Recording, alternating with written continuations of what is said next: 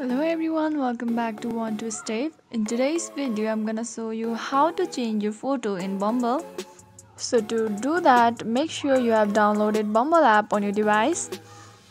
Once it's done, open up your Bumble app. Once you open the app, make sure you are logged in into the app. Now once you have logged in, your homepage will look somewhat like this. On the bottom left corner, you will see the profile icon Simply click on it.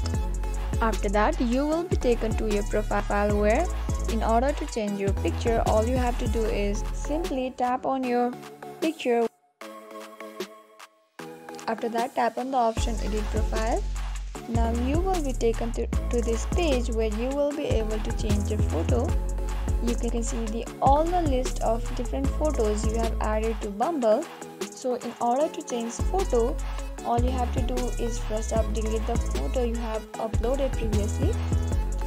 Now after deleting all photos it will say you will need at least one photo to change. Simply tap on the add option tap on it and add new photos.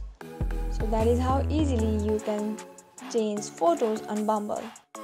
If you found the video to be helpful go ahead and subscribe to our channel and also press the notification bell so that you'll never miss another upcoming upload from us.